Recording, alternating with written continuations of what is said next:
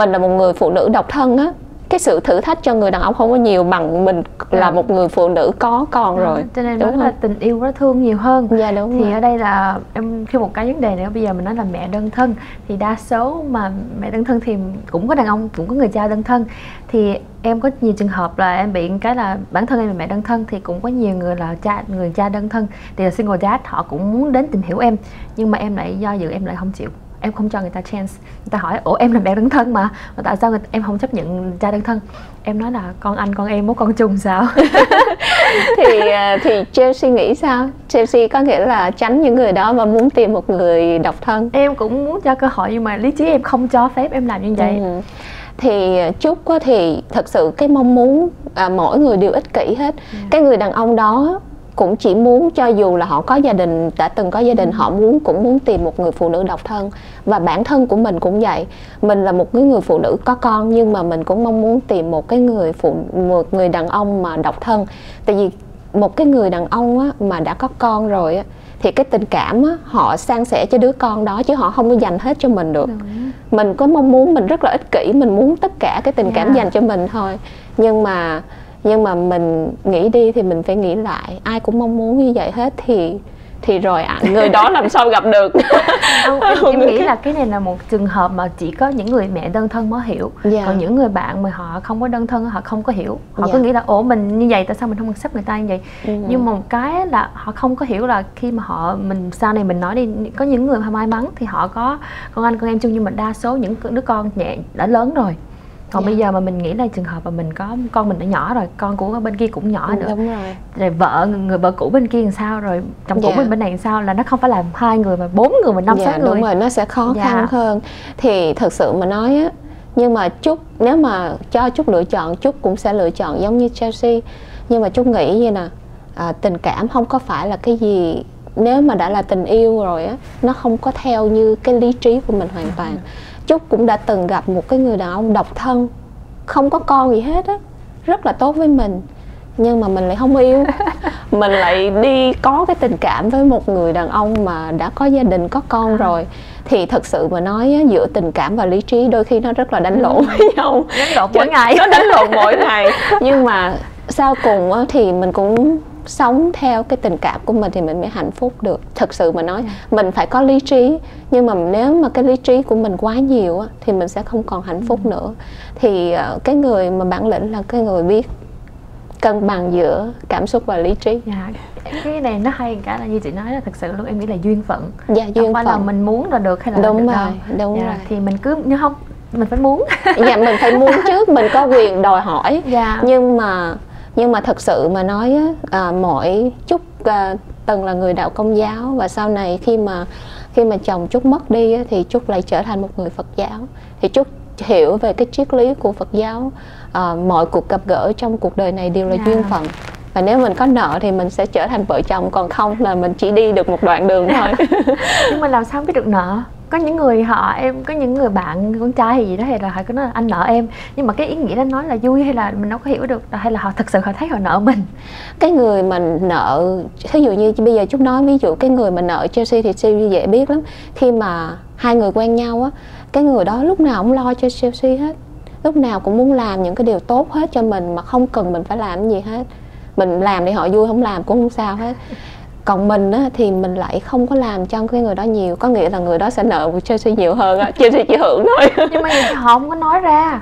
Họ không nói ra. Họ không có bày tỏ ra trước mặt mình cho nên có nhiều cái cho nên bây giờ nó là lý trí với lại tình cảm nó đánh lộn nhau tụi mình. Không chút nghĩ là một cái người đàn ông thật sự á, mà họ yêu mình thật và họ muốn có mình trong cuộc đời họ phải phấn đấu và họ phải bày tỏ và họ phải giống như phấn đấu để có mình.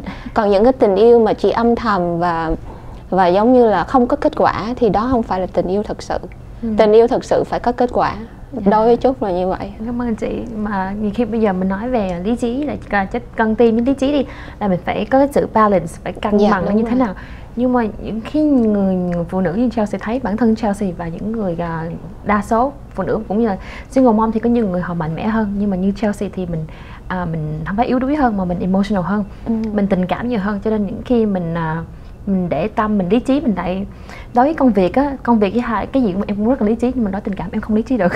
Dạ yeah, đúng rồi thật ra ở chỗ đó. rất là nhiều người phụ nữ như vậy trong công việc rất là lý trí.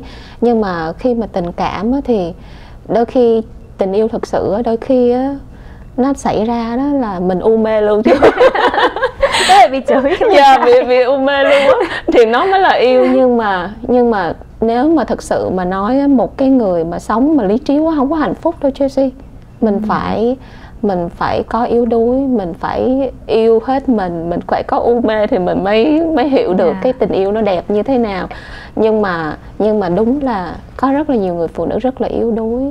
Họ không có họ không có không có đủ can đảm để mà chờ đợi cái người đàn ông đúng cho mình. Mà có thể đôi khi mình vì cô đơn quá mình nắm tay một người đàn ông mà mình thật sự mình không có yêu nhưng mà cứ trải qua một lần đi rồi sẽ hiểu rằng là làm như vậy cũng sẽ không hạnh phúc thật. Chúc cũng đã từng trải qua rồi. Và mình cứ một lần như vậy đi mình sẽ người ta nói "Ừ, chúc thích cái câu hát mà trong bài hát của Vô Thành An là qua dầm về mưa tía sẽ vui ngày nắng hạ có một lần khổ đau thì mới hiểu được tình yêu. Thì mình cứ khổ đi rồi mình mình sẽ biết là mình thật sự mình muốn cái gì Dạ, và mình nên sống như thế nào. mỹ có câu là no pain no gain. Đúng rồi dạ, đúng mình rồi. không trải qua thì mình sẽ không học hiểu gì mình cũng không có biết cái giá trị của những gì xảy ra của bản thân mình nữa.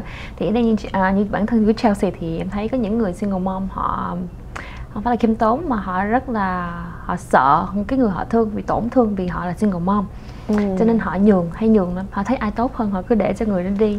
Dạ. thì cái đó là một cái mà em không biết cái đó là thông minh hay là hay là quá khờ để mà mình thấy hạnh phúc của mình trước mặt mình. Nhưng mà bản thân mình là single mom mình là con của mình. Nhiều khi mình thấy con mình là mình sợ con mình không hợp với người đó. Rồi mình cứ để hết đi cho nên mình thấy ai mà tốt mình cứ như rã đi. Vậy á. Dạ, nhưng mà á thì Trúc không suy nghĩ như vậy. Tại vì mình mình là người sụp single mom Mình không có nghĩa là mình mất giá với Ừ. những người phụ nữ khác. Mình Cái giá trị của mình không có nằm ở chỗ mình là single mom hay là người độc thân Mà cái giá trị của mình á, là mình có được cái gì. Mà thật ra một người phụ nữ giá trị không phải là gì ghê gớm á. Một người phụ nữ giá trị mà người đàn ông có thể yêu đôi khi nó cũng đơn giản thôi à.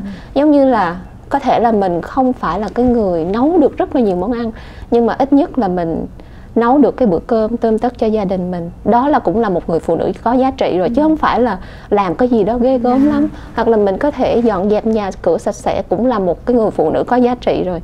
Mình có một cái công việc mình làm nuôi sống mình thì cũng là một người phụ nữ có giá trị. Và mình giống như là cái tâm hồn của mình đẹp mình biết sống vì người khác mình biết lo cho người khác đó cũng là một người phụ nữ có giá trị. Chú nghĩ là nếu một người phụ nữ chỉ có những như vậy thôi và biết um, trang điểm một chút biết ăn mặc đẹp một chút. Thì chú nghĩ là cái điều đó tất cả những cái điều đó không khó để mà có thể tìm một người đàn ông mà tốt và yêu mình. Nhưng mà mình phải can đảm chờ đợi. Chỉ có vấn đề là mình có can đảm để mình chờ cái người đàn ông đó hay không. Chúc thấy là có nhiều người phụ nữ không có chịu đựng sự cô đơn. Nhưng mà nếu mà như vậy mình sẽ khổ lắm á. dạ, cho nên sẽ khổ lắm. đúng người phải đúng thời điểm nữa. Dạ đúng rồi dạ đúng. chứ không phải là mình nói. Tại em có biết có những người um, single mom nhưng mà cái em thấy là tuổi tác nó làm cái trí tuệ của con người khác nhau hết. Đúng à, thì có những người single mom rất là trẻ thì họ lại không suy nghĩ như vậy. Họ cứ sợ bị đánh giá nhưng thật sự là đa số những người mình không phải nói là ánh mắt màu. Nhưng mà họ khi mình ra đường mà mình nói đến uh, họ người ta hỏi như như em thì người ta hỏi là uh, em có chồng chưa em trả lời um, I'm divorced và em nói sing happily divorced thì người ta nói oh you're divorced thì Mỹ thì họ không cảm Việt Nam thì họ có ủa sao vậy? Thì tùy Đúng người. rồi, dạ. là nhiều người họ Ừ. nhưng mà bây giờ mình nói về um, khi mà mình bị người ta đánh giá vậy rồi lỡ như mình nói là con làm dâu đi khi mà đa số đa phần em nghĩ đến á khi mà người người người người chồng người chồng sau của mình đi người mình sẽ hay là người yêu của mình họ đã thương mình họ chấp nhận mình hết nhưng mà người mẹ của cái người đó có chấp nhận mình là single mom hay không chị đúng rồi Ừ. chú nghĩ đó là khi mà mình gặp một cái người mẹ Ừ. của cái à, cái người bạn trai của mình đi thì tất nhiên là chúc biết chắc chắn là trong cái suy nghĩ của người mẹ đó luôn luôn muốn con trai mình à, có người bạn gái hay là có một người vợ mà chưa bao giờ lập gia đình hết chắc chắn rồi. Ừ. nhưng mà cái bản lĩnh của mình lúc đó là như thế nào? Mình phải cho cái người mẹ đó biết được là mình yêu thương cái người đó như thế nào mà mình xứng đáng như thế nào. Thì đó là cái bản lĩnh của mình đó. Tại vì trúc đã nói ngay ngay từ lúc đầu là khi mình đã là một người phụ nữ đơn thân là mình phải sống cố gắng gấp đôi người khác rồi. Thì cái bản lĩnh của mình ở đây là gì? Nếu mà mình có thể cố gắng trở thành một người có giá trị người phụ nữ tốt thì mình mới xứng đáng có được hạnh phúc. Tại vì mình mình đã cái con đường mình đi nó đã bị như vậy rồi mình không có thay đổi yeah. Dạ. được. Mình chỉ làm cho nó tốt hơn chứ mình không có trách bản thân mình hay là mình trách hoàn cảnh. Có nghĩa là khi chuyện xảy ra mình có quyền chọn lựa. Một là mình không chấp nhận mình sẽ làm cho nó tệ hơn. Hai á, là mình chấp nhận nó mình cố gắng làm cho nó tốt hơn. Đó là sự lựa chọn của mỗi người